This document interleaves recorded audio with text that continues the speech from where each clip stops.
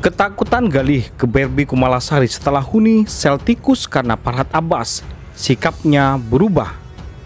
Dilansir tribunjatim.com, Berbi Kumalasari memberi tanggapan terkait kondisi suaminya Galih Ginanjar yang kini mendekam di rutan Polda Metro Jaya karena kasus bau ikan asin. Di antaranya soal ketakutan Galih Ginanjar bercerita kepada Berbi Kumalasari Diketahui Gali Ginanjar dan Fablo Binua yang juga menjadi tersangka kasus bau ikan asin baru saja mendapatkan sanksi dan harus mendekam di sel tikus Polda Metro Jaya. Hal tersebut lantaran Farhad Abbas mengunggah video saat membesuk Gali Ginanjar dan Fablo Binua di tahanan Minggu 4 Agustus 2019.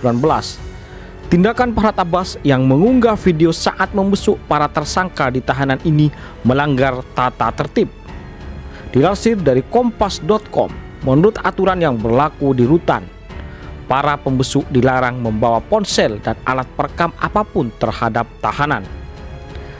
Melalui akun Instagramnya, Farhat Abbas Official, Farhat Abbas membagikan dua video yang berisi permohonan maaf Galih Ginanjar. Tak hanya itu, Farhat Abbas juga mengunggah foto mereka di rutan. Namun atas kejadian ini Farhat Abbas tidak dikenakan sanksi Justru kliennya itu yang mendapatkan hukuman dan harus mendekam di sel tikus. Terkait hal ini, Berbi Kumalasari mengaku tak bisa memberikan banyak tanggapan. Pasalnya, video dan foto tersebut diambil saat Berbi Kumalasari tak menjenguk kerutan.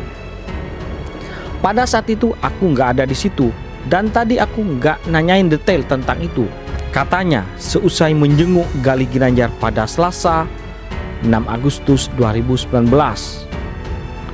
Barbie Kumalasari menyebut bahwa Gali Ginanjar tak banyak bercerita kepadanya seperti biasa. Karena Gali udah nggak bahas itu lagi sih, dia lebih bahas tentang lagu aja lanjutnya. Soal sanksi yang didapat Gali, karena ulah Farhat Abbas Barbie Kumalasari berkomentar, ditanyain aja sama yang pada saat itu merekam sama Gali. Kan aku nggak tahu nggak berada di situ. Mungkin niatnya Farhad baik, tapi di sini juga ada peraturan tidak boleh membawa handphone kan? Akhirnya jadi Galih yang dapat teguran, tuturnya.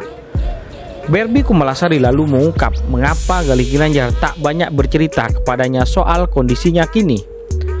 Aku tadi jenguk, dia di bagian depan, kurang paham. Dia juga nggak cerita banyak karena mungkin dia tahu nanti Kumala marah atau apa katanya. Berbi Kumalasari kemudian membeberkan alasan ketakutan Gali Ginanjar itu.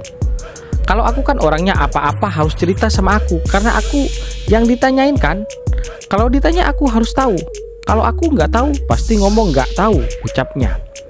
Ditanya kembali soal Celticus Berbi Kumalasari enggan menjawab. Namun ia memberi pesan kepada Farhat Abbas dan siapa pun yang menjenguk Gali Ginanjar, aduh, aku no komen deh. Yang penting aku lihat dia. Udah ngobrol banyak dia juga nggak cerita. Mungkin next time untuk yang jenguk jangan gampang-gampang bawa handphone karena kasihan yang di dalam pungkasnya